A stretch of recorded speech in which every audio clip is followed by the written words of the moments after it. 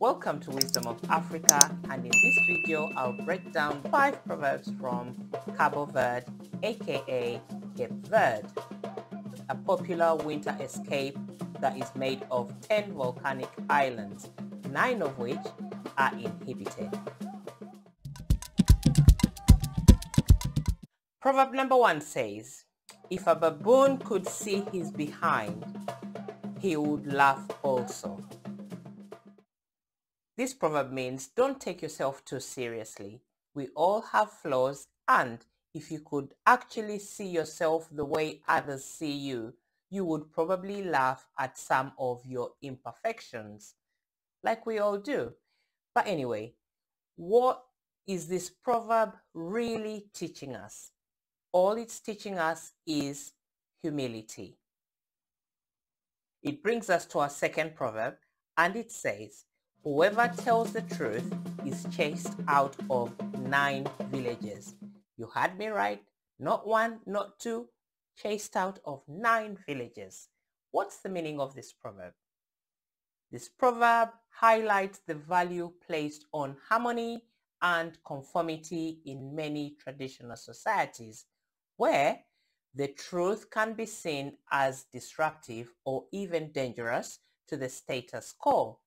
In such cultures, it's often expected that people will be diplomatic and tactful even if they have to lie or withhold information to avoid offending others.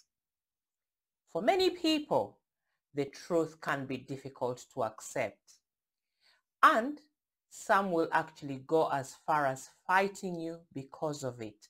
The truth can be a double-edged sword and those who wield it must be prepared to face the consequences. For example, whistleblowing at work, yeah? You speak out against corruption, like in the case of South African civil servant Babita Deokaran, who was murdered outside her home after she blew the whistle on government corruption. Now, I don't know about you, but I am not sure I want to live in a society where telling the truth is a crime or worse, it gets me killed.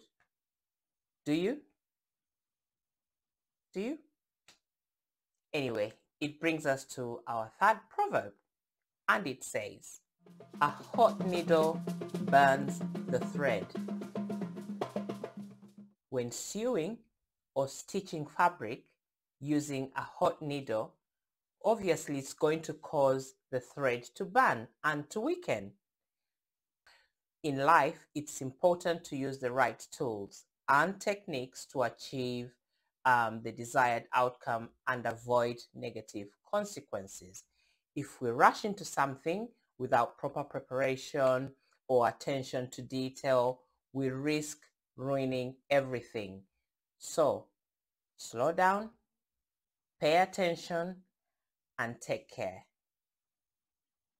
Attention to detail is my forte.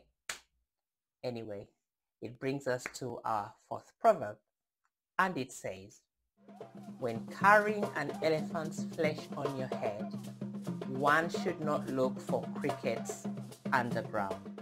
You're carrying the elephant, why would you be looking for crickets underground? What does this mean?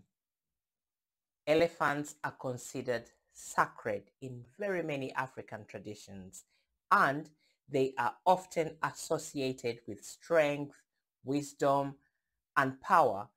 So this proverb tells us that when dealing with important matters, one should not be distracted by trivial issues, as in looking for crickets underground, trivial issues, we must prioritize our efforts and not waste time or energy on things that are not essential or relevant to the task at hand.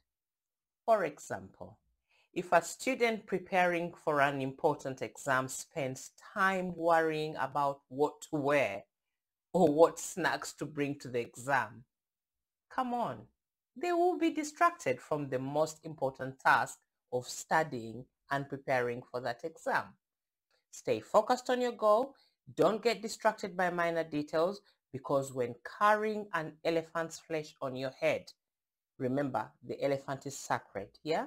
You should not look for crickets underground. It brings us to our last proverb from Cape Verde, which says, I know it perfectly prevents the wasp from learning to make honey. When we are too confident in our own knowledge and abilities, we can become closed off to learning new experiences. The pursuit of knowledge and the willingness to learn and grow is a continual process. Yeah, it never stops. It continues. And even those who are experts in their field, like moi, we can always learn something new.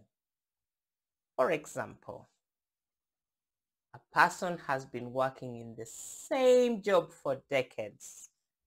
They may feel that they know everything there is to know about it. They may even refuse to learn new skills or techniques, believing that they have already mastered their job.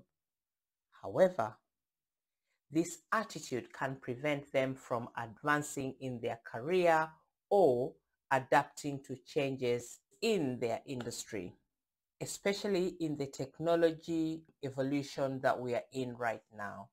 We have artificial intelligence um, that can write books, it creates art, it can make music, it can even mimic human conversations to the point where you can't tell you're talking to a robot. So, to all the chief know-it-alls out there, myself included, prepare to be replaced.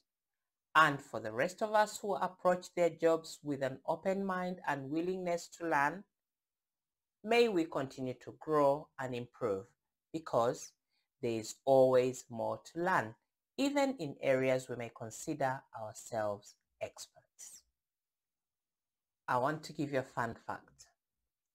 Did you actually know that wasps are actually very skilled at making honey? I, for one, didn't know that. And yet, even though they are often overshadowed by bees in this regard, wasps make a different kind of honey known as pepper honey, which they produce by chewing wood and mixing it with their saliva. While their honey is not as sweet as bee honey, it's still considered a delicacy in some cultures. Go get yourself some wasp honey. As the saying goes, Knowledge without wisdom is like water in the sun.